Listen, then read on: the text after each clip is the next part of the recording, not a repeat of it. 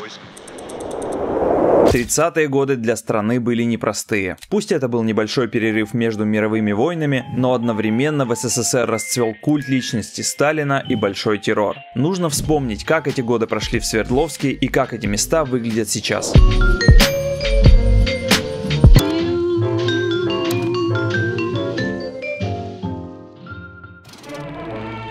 Большевики начали создавать новый мир в соответствии со своей идеологией. В этом десятилетии в городе было построено по-настоящему много знаковых объектов. Свердловск стал одним из крупнейших центров конструктивистской архитектуры. Например, знаменитый комплекс, один из главных символов Екатеринбурга, начали возводить в конце 20-х годов и закончили в 32-м. Я говорю о городке чекистов и гостинице и сеть.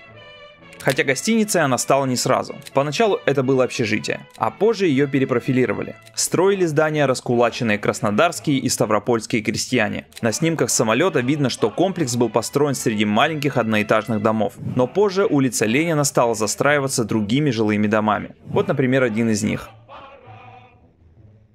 В 30-е также начали возводить другой грандиозный проект Дом промышленности. Очень подробно я рассказывал про него в видео о 10 нереализованных проектах Екатеринбурга. И да, спойлер, его так и не построили.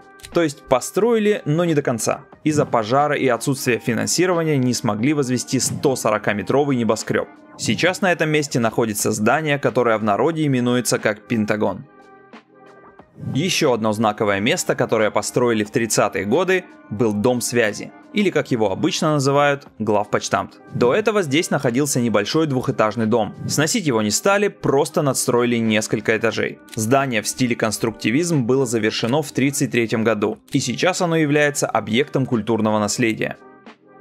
А на этом фото запечатлено возведение второго дома советов. Между прочим, здание было самым высоким в городе почти 10 лет и считалось первым Свердловским небоскребом. В эти годы комплекс даже претендовал на градообразующую роль и был виден со многих точек города.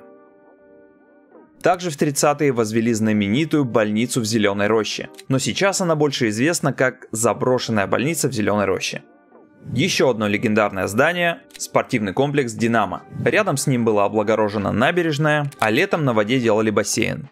Но помимо большого вклада в развитие конструктивизма, советская власть несла и много разрушения. Именно в начале 30-х годов в Свердловске начали сносить все культовые сооружения. В 1930-м снесли храм Большой Златоуст, первоначально сняв с него колокола. Долгое время на этом месте стоял памятник Малышеву. В 2013-м храм был восстановлен на том же месте.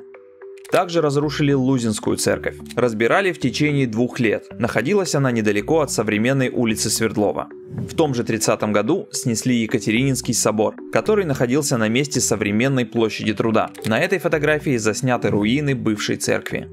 Снесли лютеранскую кирху святых апостолов Павла и Петра. Кирха стояла рядом с оперным театром. Подробнее об этом я рассказывал здесь. Но самое значимое разрушение случилось на площади 1905 года. На ней долгие годы располагался Богоявленский кафедральный собор. В том же 1930 его снесли. Первое время на этом месте оставалось некое подобие парка с деревьями, но потом все сравняли с землей. Кстати, постамент, на котором раньше стоял памятник Александру II, разобрали заодно с собором. Едва ли не единственный храм, который уцелел, оказался храм на Вознесенской горке. На него всегда нацепляли различные плакаты, а на площади напротив ставили композиции. Вот, например, 15 лет вооруженного комсомола. Напротив стояла композиция, символизирующая то ли фашизм, то ли капитализм. Вот одна из фотографий площади пятого года. Обычный день большевика. Недавно снесли очередной храм, разбирают завалы. Но обратите внимание вот сюда. Это здание горсовета. И оно не просто строится, а перестраивается. Раньше здесь был неприметный двухэтажный дом. И только в 30-е к нему надстроили еще несколько этажей. Горсовет, как и все новые здания в ту эпоху, был сделан в стиле конструктивизм. Только в 47 году была проведена полная реконструкция с добавлением колонн и башни с часами. Такой она и стоит сейчас. 30-е годы также запомнились расцветом культа личности Сталина. По всему городу были развешаны плакаты с его изображением. Вот, например, на улице Первомайской, на Уралмаше, На площади первой пятилетки под памятником Ленину, улица, на которой он стоял, тоже носила имя Сталина. Теперь это проспект Орджоникидзе. На площади пятого года даже был памятник Сталину. В том числе в городе регулярно проводились различные демонстрации и шествия, которые восхваляли советскую власть. И тут тоже очень много портретов Сталина. На одной из демонстраций даже пронесли памятник Сталину на руках. Но, как и по всей стране, Сталин отблагодарил народ репрессиями. И Свердловск это не обошло стороной. Вот, например, очень характерное для своего времени фото. 37 год, площадь 1905 года. На домах висят портреты областного руководителя коммунистической партии Ивана Кабакова и руководителя комсомола Александра Косарева. После того, как они были расстреляны в 37 и 39 годах, на фотографиях их портреты зачеркали. Верхесецкий завод, который носил имя Кабакова, естественно, перестал так называться называться. Еще один удивительный пример стирания памяти. Владимир Фидлер был главным инженером строительства Уралмашзавода. В 1932 году он умер, и чтобы увековечить память о нем, перед входом в Уралмаш установили монумент в его честь. Внутри находилась урна с его прахом, но через год в одном из цехов произошел крупный пожар. Убытки были колоссальные. На судебном процессе Фидлер был назван создателем немецкой контрреволюционной организации и посмертно признан врагом народа. После чего урну с его прахом естественно убрали, уже позже на этом месте поставили памятник Орджоникидзе, который находится там до сих пор. Кстати, сам Уралмашзавод активно строился в начале 30-х годов. Вокруг были видны одни стройки. Район с нуля возводился как отдельный город для работников и их семей. В таких условиях создавался гигант. Грязи было буквально по колено. Так выглядела площадь первой пятилетки в 32-м. Здание еще строится, канализация только прокладывается. Так она стала выглядеть через год. Кстати, ко дню пуска завода 15 июля 1933 открыли памятник Ленину, но он простоял недолго. Летом 37-го по Уралмашу пронесся сильный ураган и повредил памятник, после чего его убрали. Вот так выглядела улица Ильича. Довольно уютно. А вот так она выглядит сейчас. Вот что было на месте парка Маяковского. Его только начали строить и открыли в 33-м. Так поначалу выглядел вход в парк а свои знаменитые ворота он приобрел немного позже. В августе 1932 года в Свердловске прошла Урало-Кузбасская спартакиада. Съехались атлеты со всего Союза и даже иностранные гости из Франции. Соревнования проходили на стадионе Металлург, но в 50-е сооружение было решено снести и на его месте построили центральный стадион. В 30-е годы в Свердловске еще существовал ипподром и вполне себе пользовался популярностью. Посмотрите, сколько народу присутствует на скачках. Здание Свердловского цирка, которое располагалось перед Свято-Троицким собором. Простояло оно достаточно долго, пока не сгорело в 76-м. Сейчас на этом месте небольшая площадь. Также в 30 году построили мост по улице Куйбышева. Так выглядел мост по улице Карла Маркса, вот так это место выглядит сейчас.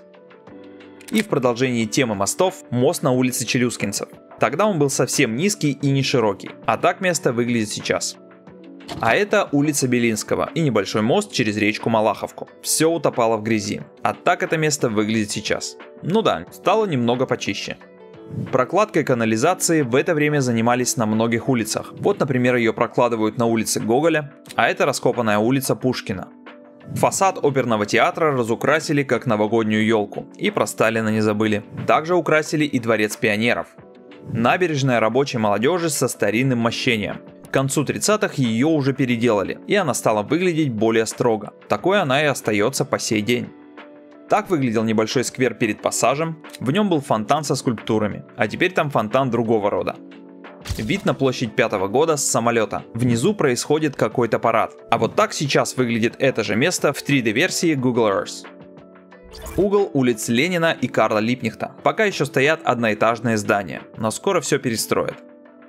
Так выглядел мытный двор, и он немного изменился с тех пор.